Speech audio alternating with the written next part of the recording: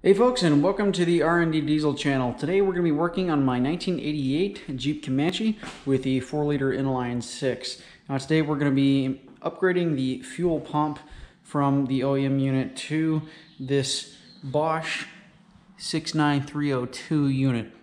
Now from my understanding, I recently purchased thing. It's not exactly a drop-in replacement. We've got to do some modifications to make it work, but that's what we're going to find out today and we'll see how it goes. Now, for starters, I want to talk a little bit about why I'm replacing the fuel pump. Now, in particular, it's because I'm having a problem with this thing. What's going on is that whenever I hit the accelerator and it gets to a certain point, certain RPM, the engine just doesn't seem to have any more power. I, it, it seems almost like once you get past a certain throttle point, like it makes power, but then it stops and it kind of just almost stumbles and doesn't want to do the trick. Now, I've already looked at a lot of sensors and tried to troubleshoot some stuff. I've replaced the throttle position sensor and I've also already replaced the fuel pressure regulator thinking those either of those might have been contributing to the issue. But unfortunately it wasn't either of those things. And uh, you know, I probably spent a little bit more money than I should have just kind of throwing parts at this. But uh, in particular what I ended up doing and the reason I suspected it's the fuel pump is because I replaced the fuel pressure regulator and of course that didn't solve the problem. But in addition to that, I did some reading in my manual and found out that the fuel pump that you've got, if you completely block off the flow, you should be able to get upwards of something like 90 psi of fuel pressure. So what I did was there is a return line here coming off the fuel pressure regulator and if you basically block that off, you can't really see it, but there's a soft rubber line here, that's the fuel return line. If you pinch that off with a pair of vice grips or something like that, then you basically take the fuel pressure regulator out of the equation and you allow your fuel pump to make as much pressure as it can. Now, in my particular instance, my fuel pump didn't make over 30 psi, and it's supposed to be able to go way higher than that. So that's why I suspect the fuel pump to be the problem. Now, the thing is that the fuel pump I've got in this thing is only like a year and a half old, maybe, maybe two years. And so I'm kind of disappointed that it didn't last so long, and hence, so I'm wanting to upgrade to this Bosch unit, which has higher reviews and will hopefully last a bit longer. But let's get to it and see if that fixes our problem.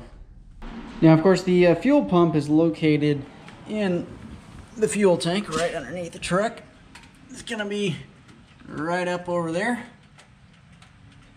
Well, let's get set up and we can start pulling that guy out.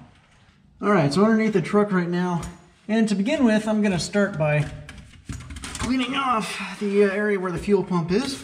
I've just got some purple power degreaser here. I'm trying to be clean about this because I can be opening up this fuel system and I want to keep as much dirt out of the fuel tank as possible.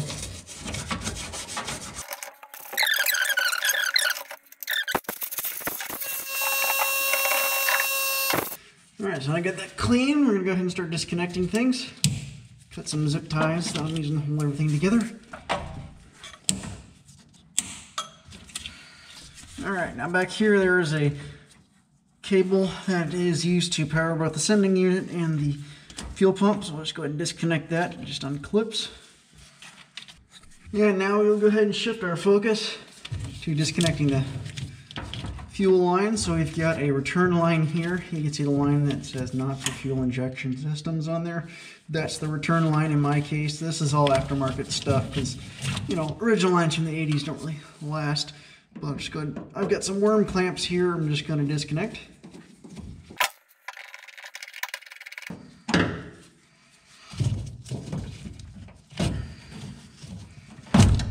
pull those guys off course get a bunch of gas coming out.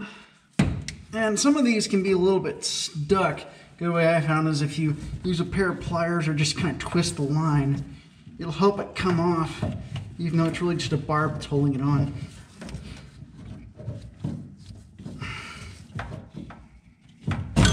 And there we go. All right, and now we can actually address removing the fuel pump. So the fuel pump is really inside this big sending unit. And it's held in with a big ring here. And it's basically kind of a weird looking bolt. I think of it as. So we're gonna go ahead and hit this thing counterclockwise to loosen it up. So I've got a brass rod here that I'm going to use.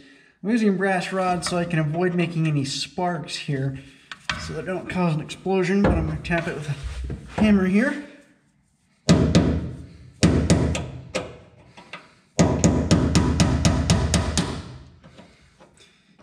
There we go.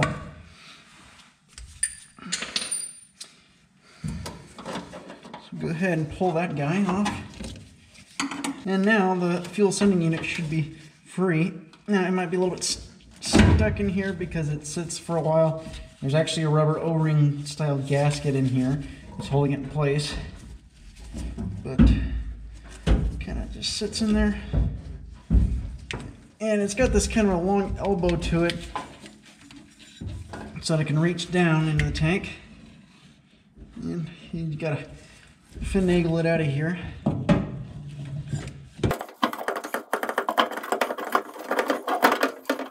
Okay, and there should be a sock on the very bottom of this. That's a pickup screen.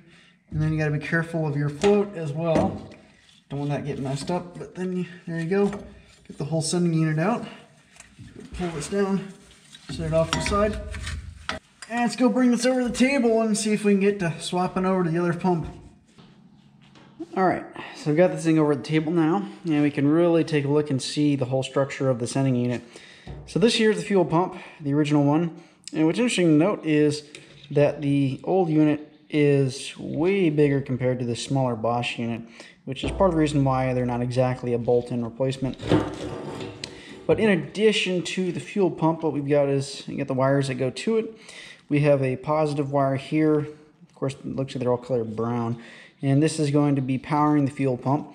And then we have the ground here, which in my case is just this yellow wire that I've grounded to the frame. And then I also have the sending unit or the uh, float sensor that gives us an idea about how much fuel is in the tank. Now yours may not look exactly like mine does because I am holding this thing in place with a worm clamp. I've gone on here before and this fuel pump itself is close but not the exact replacement to the original and that's why I had to do a little bit of modifications already. And if you take a look you can see I already did grind away part of the original sending unit and that's why it looks a little bit goofy. But nonetheless it should be so you might have to do some additional modifications on yours as well to get this new Bosch pump to work but let's go and start taking this thing apart and we'll see how it goes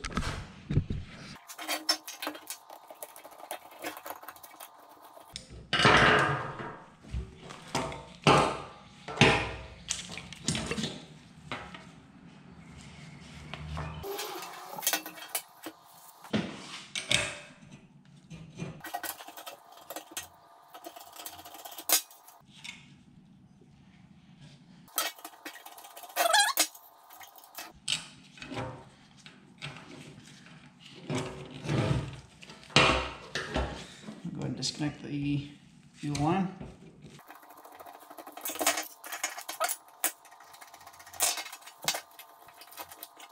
Disconnect the power supply. Actually, it's just a spade connector. And there we go, got the old fuel pump out. Just pulling off this little retaining bracket. All right, so now we've got pretty much everything disconnected. Anyway, we'll go ahead and continue with installing the upgraded Bosch pump.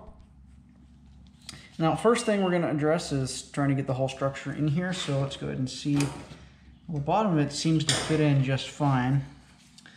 Also got this guy. Let's see if the new ring fits any better. Actually like that. That fits pretty well. Also looks like we have this sort of adapter on here. We might need to use this. So as you look at it, yeah, there's no way in heck that I'm going to be able to hold this in place with the factory retaining ring. So I'm going to have to use this adapter that came with it. Alright, so now I'm sitting here trying to figure out all the wiring for this thing. Looks like this little wiring harness that came with the pump. So the guy just clips in there. Nice and secure. And it is also labeled minus and positive, so that's definitely good to have. Okay, so I think I figured out how this adapter goes. We'll set that guy on there, slide in this little slotted ring right there. And then on the bottom of it, we get this retainer. And, oh yeah, that's how it goes. All right, well, just got a new sock or pickup fuel filter screen for this. Let's go ahead and make sure it looks the same as the original and definitely much cleaner.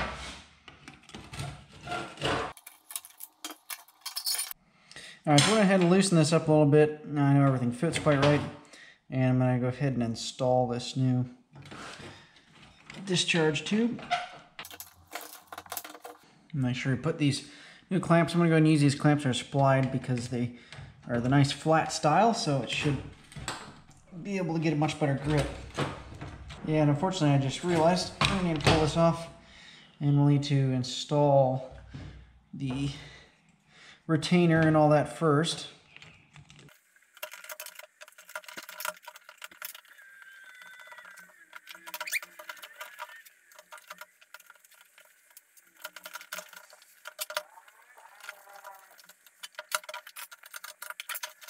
All right, got that on. Go ahead and put this other clamp hose.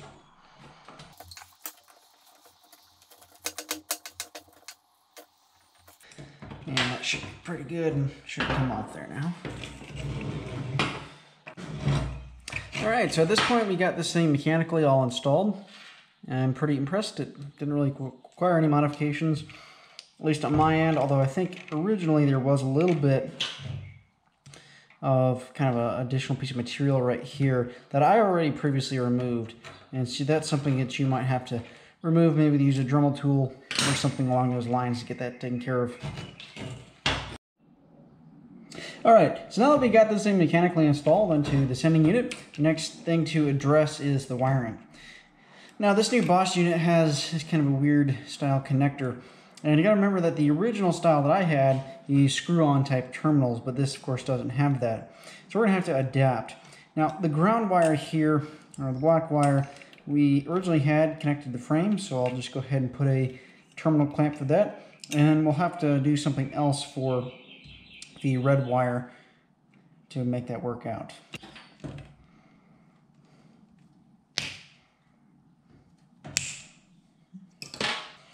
I've got this little crimp-on terminal that I'm going to use for the ground. And it doesn't really matter too much, just you can't really short out a ground.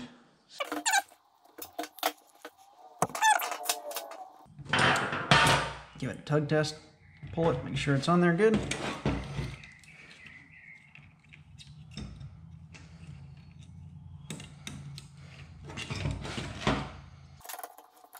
All right, got that connected.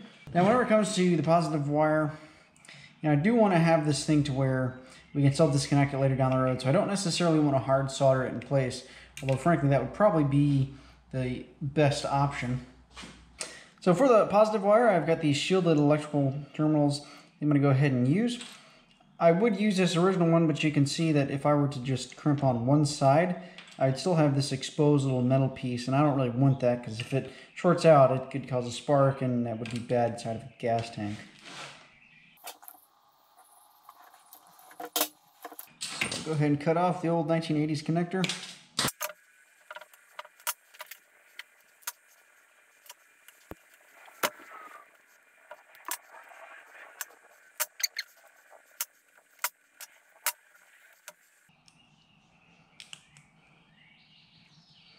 And there we go.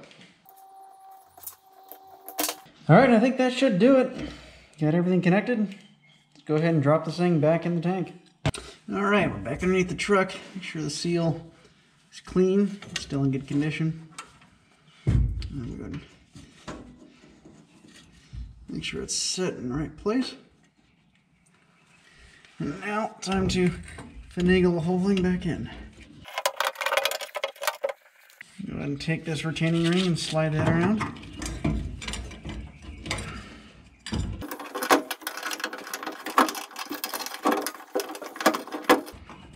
All right, there you go. You can really feel it kind of pops into place.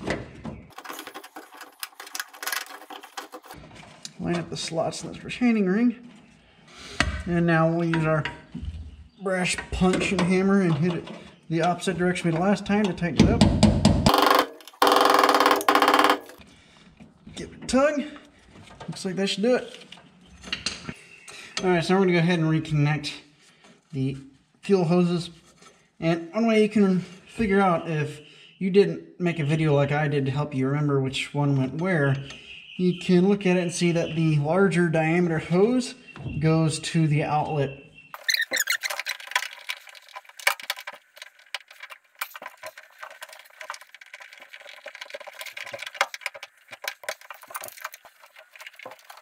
I just reconnected. There's a holder here that supports the lines. Mine's still in okay enough shape that it supports everything. And we'll just reconnect the power supply. And there we go. Now next thing I'm gonna do is grab some cable ties and we'll tie everything up, make sure everything's out of the way so we don't, nothing flops around and hits the drive shaft. That could be really bad.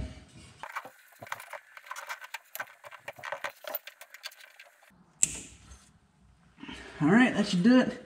Let's see if this thing fires up.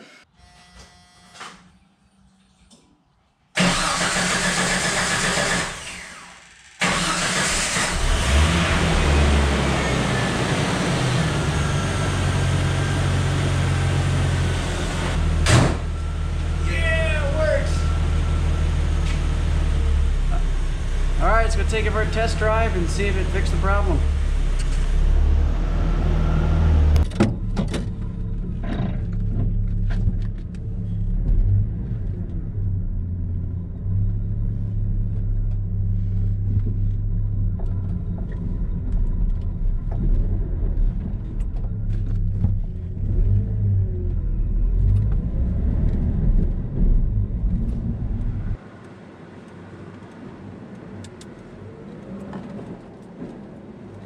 All right, let's open her up.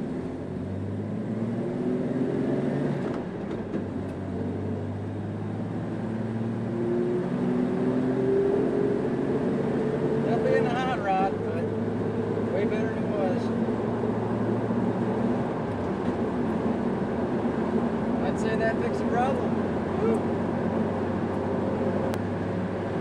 Well, folks, that does it for the day's video. I hope this helps you out. I hope you enjoyed it, and thanks for watching.